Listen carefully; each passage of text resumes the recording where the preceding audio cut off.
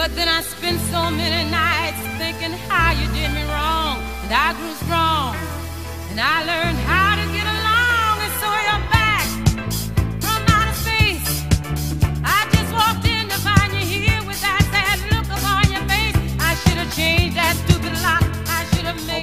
culture. Give you a little bit of a tease as to why it is that we kind of buttoned, butted heads.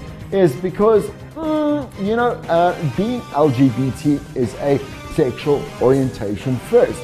Kind of trying to uh, uh, kind of place that into uh, a kid's mindset of understanding who's reading a comic or watching, uh, I don't know, like a, a cartoon on TV, like for example, Princess of Power came out.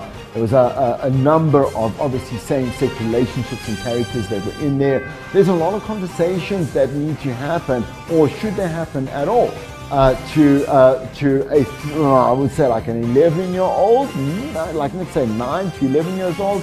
Um, mm, I don't know. if you deny kids the exposure to reality, they are going to walk around like horses with flappers on them, blind to the reality of what is there. Can I marry my best friend who is another girl? You know?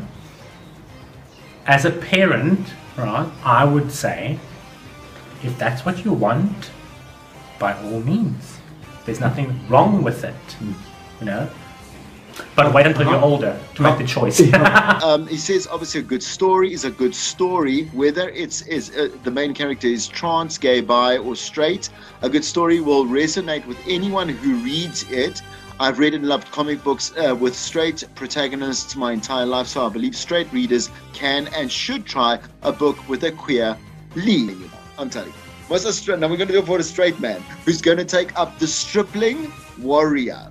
And because he's tolerant he's going to see these gay men in these sexual pursuit. You know what i'm saying to because this guy is saying that that is what they should do just because we have been exposed to straight culture. And it's also largely political. And and i feel like like i said uh, earlier is that we don't live in that ideal world we live in a, a world that's so is governed and controlled by identity politics whether we want we whether we want to accept it or not uh, Yeah. it's only the people that can opt out of those politics that have the privilege that can say oh well it's not a big issue to me or xyz you know but every day those statements such as i'm gay i'm trans stuff it's it's a life or death statement. Come on now, let's make it weird. Oh, you can see i'm like i'm, I'm proper trash right? Stroll